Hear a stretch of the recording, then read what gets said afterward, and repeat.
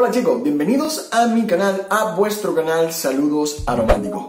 En esta ocasión vengo a hablar de un perfume riquísimo y maravilloso de la casa Aeles de Venusta. En este caso vamos a hablar de Copal Azul. Si quieres ver mi reseña, quédate que comienzo después de la intro. Saludos aromáticos.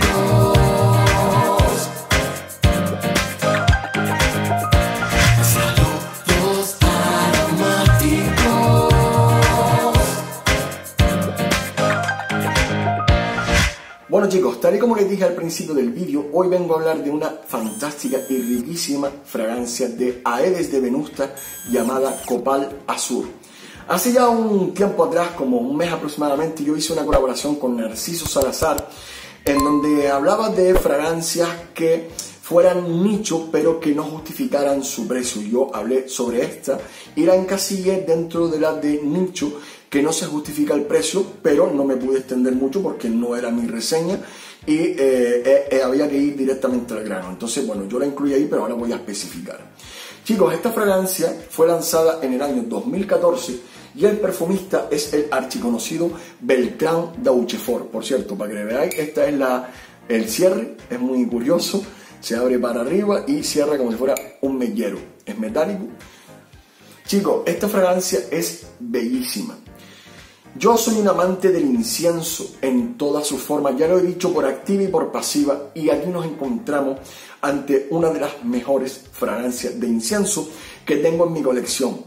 ¿Cuál es la pena? Que a mí no me dura mucho, y no dura mucho en piel, no tiene una performance demasiado elevada. Pero el tiempo que está es bellísimo. Esta fragancia intenta emular ese eh, olor del copal, los suscriptores de México, sobre todo, saben que el copal, pues ese incienso litúrgico espectacular que se utiliza muchísimo en México, que yo no he tenido el placer de olerlo, pero que aquí en esta fragancia, mezclando tres tipos de incienso diferentes, han querido emular ese olor.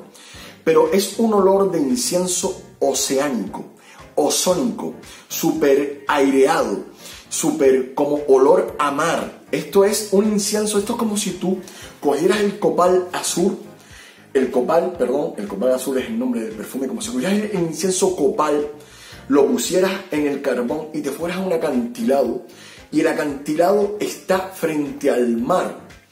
Y entonces el olor del copal mezclado con la brisa marina, eso es lo que es esta maravilla llamada copal azul.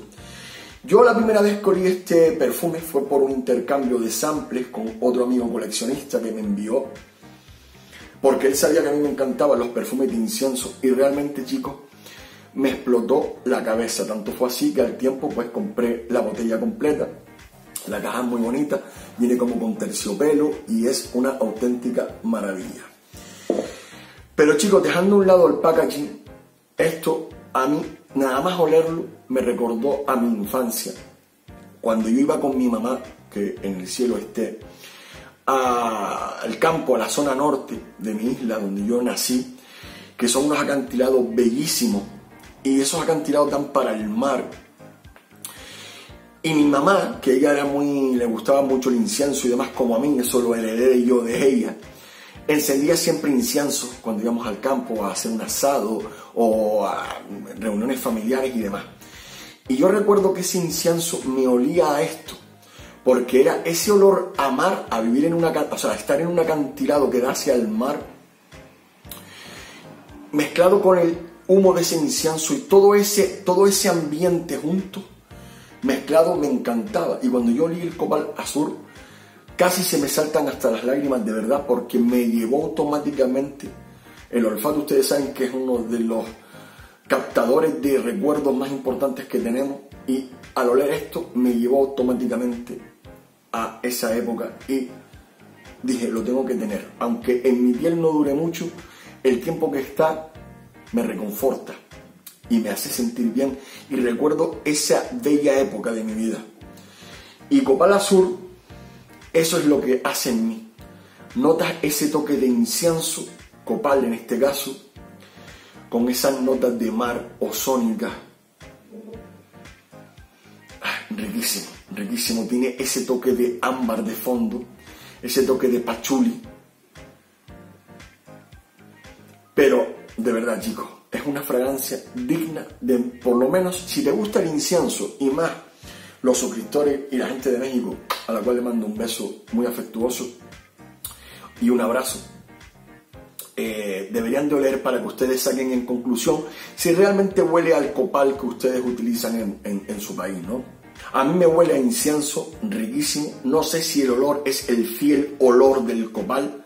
Tendré que con el tiempo hacerme con el incienso copal y prenderlo aquí en casa a ver si realmente se asemeja a este, a, este copal azul. Pero chicos, riquísimo. Yo amo este perfume por los recuerdos y por lo que a mí me hace llevar mi mente y me transmite. Proyección ya lo dije, Estela ya lo dije, o sea, lo dije en el vídeo que hice con Narciso, pero lo repito aquí. Eh, Estela quizás medio metro, un metro como mucho la primera media hora o una hora, a partir de ahí ya se queda un perfume a ras de piel. Y que para sentirlo tienes que pegarte mucho la nariz, inclusive yo me lo he sprayado a veces en ropa para intentar postergarlo un poco más, porque esa es la única forma que yo veo para postergar un perfume. Yo, esos inventos del eh, Molecule y bla bla bla bla, y ahí ustedes saben lo que yo opino de esa, de esa parafernalia y me lo traigo en ropa para ver si aguanta un poco más y definitivamente no es un perfume que quizás en ropa aguanta un poquito más pero imperceptible.